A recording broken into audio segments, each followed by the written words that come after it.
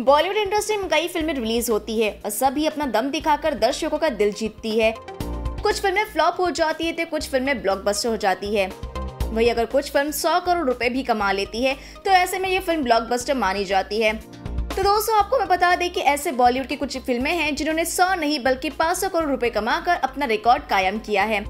आइए जानते हैं बॉलीवुड की कुछ ऐसी फ़िल्मों के बारे में जिन्होंने 500 का आंकड़ा यूँ ही पार कर लिया है। सबसे पहले बात करते फ़िल्म दंगल के बारे में। आमिर खान प्रोडक्शन के बैनर तले बनी फ़िल्म दंगल 2016 में रिलीज़ हुई थी। ये भारत की सबसे हाईएस्ट क्रॉसिंग बॉलीवुड फ़िल्मों में टॉप पर है।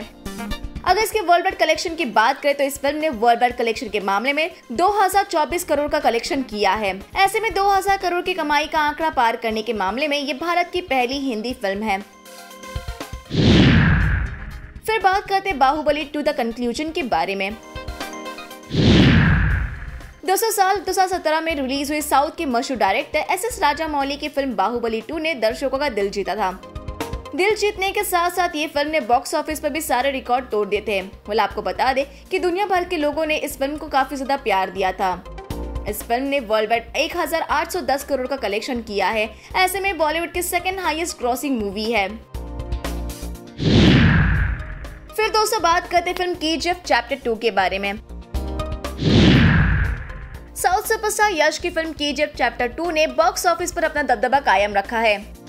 ऐसे में इस फ़िल्म ने कई सारे रिकॉर्ड अपने नाम कर लिए थे। इस फ़िल्म को दर्शकों का बेशुमार प्यार भी मिला था। इस फ़िल्म में रॉकी का किरदार निभाकर साउथ सुपरस्टार यश ने अपनी अलग पहचान बनाई है। वही दोस्तों बात करें इस फ़िल्म के वर्ल्ड वाइड कलेक्शन के बारे में तो इस फ़िल्म ने 1210.53 करोड़ रुपए का कलेक्शन किया था। ऐसे में हाईएस्ट क्रॉसिंग मूवी के लिस्ट में ये तीसरे पायदान पर है। वेल well, दोस्तों बात करते फ़िल्म ट्रिपल आर के बारे में। साउथ सुपरस्टार जूनियर एनटीआर और रामचरण की फ़िल्म आरआरआर ने अपने एक्शन और अपने कंटेंट से लोगों का दिल जीतने में कोई कसर नहीं छोड़ा है। इस फ़िल्म में जूनियर एनटीआर और रामचरण के अलावा बॉलीवुड सुपरस्टार अजय देवगन और एक्ट्रेस आलिया भट्ट भी अहम किरदार में नज़र आए थे।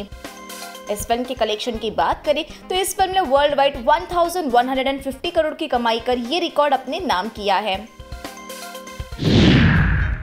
वही बात करते फ़िल्म बजरंगी भाईजान के बारे में। 2005 में रिलीज़ हुए सलमान खान की फ़िल्म बजरंगी भाईजान ने हर किसी को इम्प्रेस कर दिया था। इस फ़िल्म में मुख्य किरदार से लेकर बच्चों के किरदार तक दर्शकों ने बेशुमार प्यार दिया था।